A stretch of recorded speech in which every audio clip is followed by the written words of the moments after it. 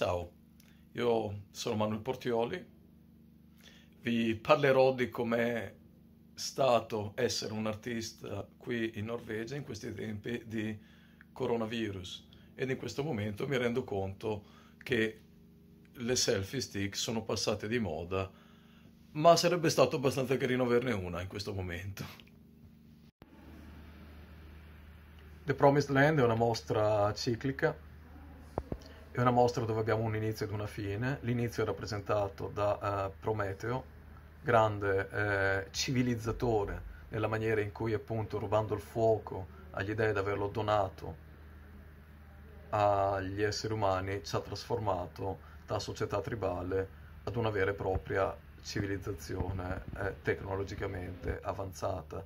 Di conseguenza ci ha reso quelli che siamo.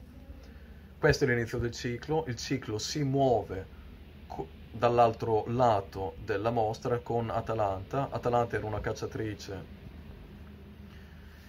e ehm, sacerdotessa di Artemisia che ha avuto la colpa di essere l'unica donna in una spedizione di soli uomini e la colpa forse ancora più grave di, uh, di, essere stata la prima a versare il sangue di questa bestia, di questo cinghiale enorme che aveva portato devastazione in Canidonia.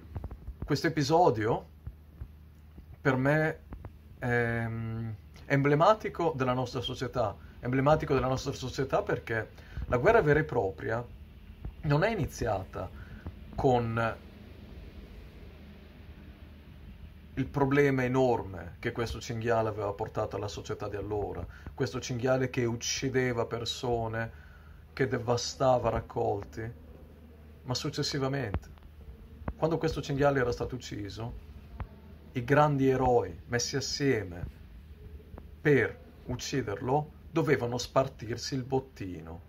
Tutti logicamente volevano quel medesimo bottino, tutti logicamente volevano la pelle, i tendini, le zanne del cinghiale. Di conseguenza ci fu un'altra guerra. Una guerra fratricida dove queste casate combattevano per ottenere il bottino derivato dall'uccisione del cinghiale. A me questo episodio ricordava molto della nostra società.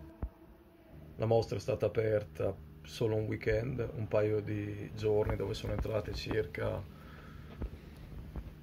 un centinaio di persone, quanto mi hanno detto, alla spicciolata, non potevano entrare più di otto persone alla volta, però insomma qualcuno è venuto comunque a vederla. Successivamente a quel primo weekend la mostra è eh, chiusa. È stata abbastanza difficile l'idea di potermi relazionare con il rimettermi a lavorare immediatamente dopo la fine di una mostra che peraltro non era mai stata propriamente inaugurata, che peraltro sembrava eh, sarebbe rimasta chiusa sostanzialmente per tutta la sua durata.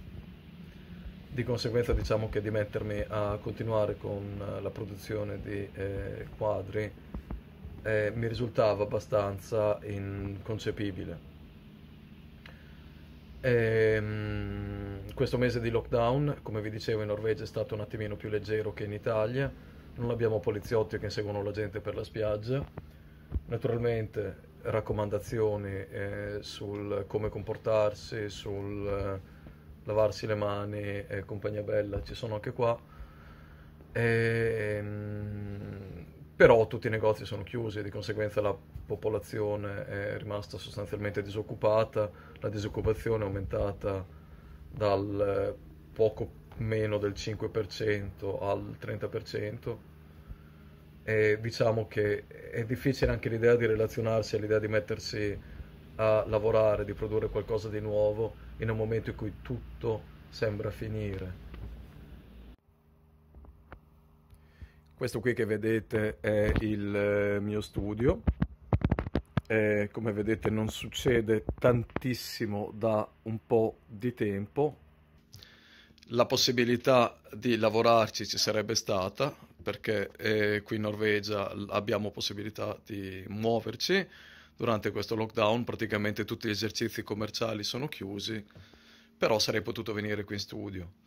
Mi è stato abbastanza complicato farlo perché avevo appena finito una mostra molto importante, avevo voglia di prendere una pausa. Vi ringrazio per lo spazio, mi auguro tantissime cose belle per tutti. E grazie Valentina, grazie Emanuela e alla prossima. Ciao da uh, Manuel Portioli, Bergen, Norvegia.